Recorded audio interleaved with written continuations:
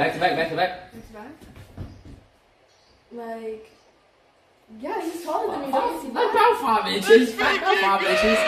I'm like five. I'm like five eight. Five eight. I am not five six. I went to the doctor. They told me I'm five eight. We both have shoes on though. Oh my god, I'm five eight, Jack. But switching the subject, how uh how was y'all's day, Jack?